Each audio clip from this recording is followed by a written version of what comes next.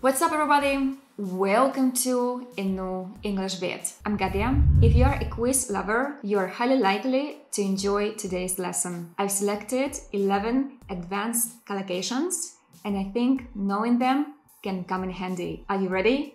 If so, let's get going. Before we start, what is a collocation?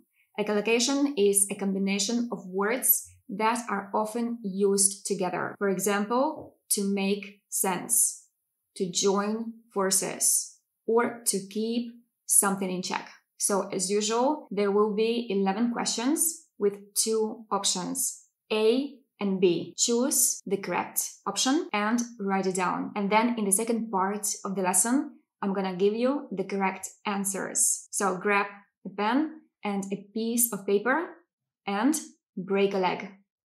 The first sentence I'm not surprised he didn't win the election.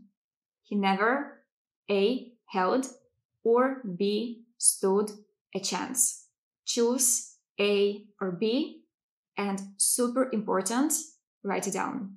Number two, she A. caught, B. took exception to her comment this collocation has two meanings. The first one is to be offended or made angry by something or someone.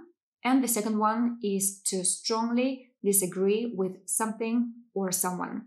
Number three, he's working hard to A, make, B, do a go of his new business. This collocation means to succeed in doing something, usually by working hard. So choose to make or to do.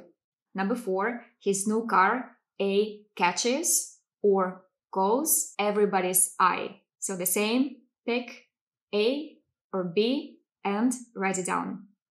Number five, I'm sure all your hard work will A bear or B give fruit. What do you think? A or B? Number six, leather pants have A, made, B, done, a comeback. It means to become popular again after being unpopular for a long time. So the same, choose the correct collocation. Number seven, I hope everybody who committed war crimes in Ukraine will A, sit or B, stand trial.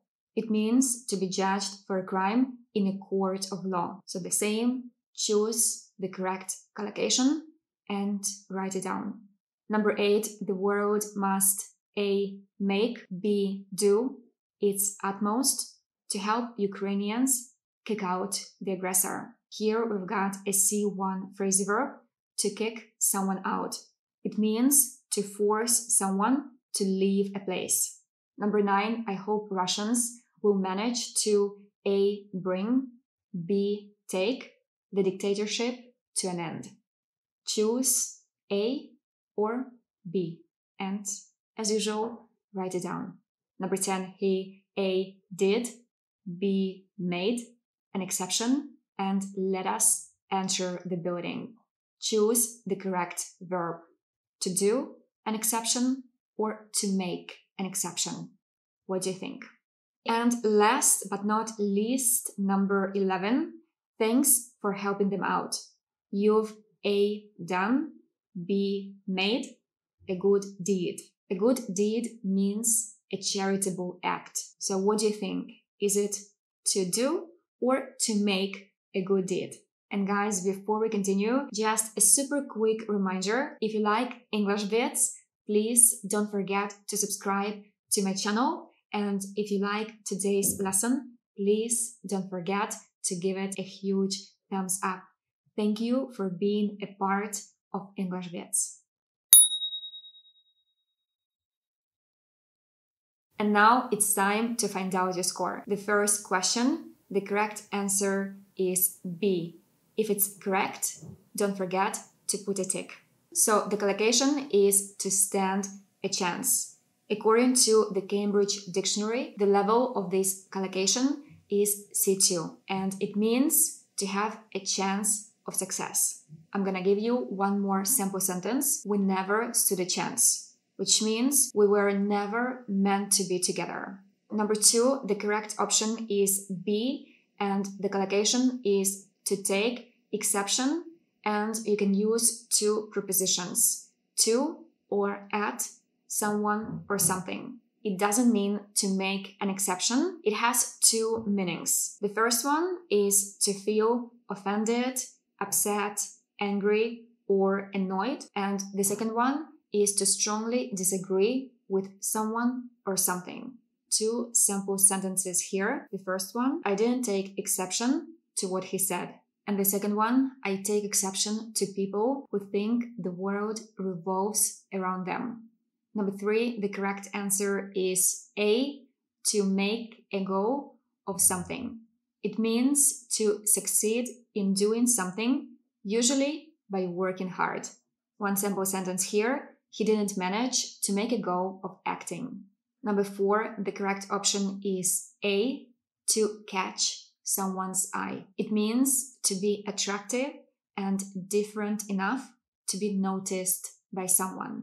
For example, we could go to a cafe that caught my eye on the way here. Number five, A. If it's correct, put a tick. To bear fruit. It means to produce successful results.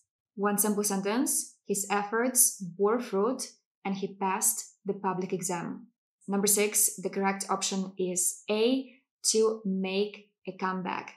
It means to become popular again after being unpopular for a long time. For example, the band is trying to make a comeback with their new album. Number seven, the correct option is B, to stand trial. It means to be put on trial in a law court. One simple sentence, he got his comeuppance and stood trial. Number eight, the correct option is B, to do your utmost. It means to do something as well as you can by making a great effort. It's like to do your best. One simple sentence, Vladimir Zelensky is doing his utmost to defend Ukraine. Number nine, the correct option is A, to bring something to an end. It means to make something finish. One simple sentence, the war must be brought to an end. Number 10, B, to make an exception. It means to not treat someone or something according to the general rules. For example, nobody is allowed to smoke in here, and I will make no exception. And last but not least, number 11, the correct option is A, and it's to do a good deed. This collocation is not marked as C1 or C2 by the Cambridge Dictionary, but I do think it's advanced. And it means to do something good or helpful for someone or the society. And there is also an expression, your good deed for the day. And the last simple sentence, lots of people are doing good deeds by helping Ukrainians. So guys, that's it for today. I really hope you enjoyed today's quiz and learned something new. And please share your score with me in the comments down below. And of course, if you liked today's English bit, please don't forget to hit the like button to subscribe to my channel and remember that you can catch me on Instagram where I teach English every day.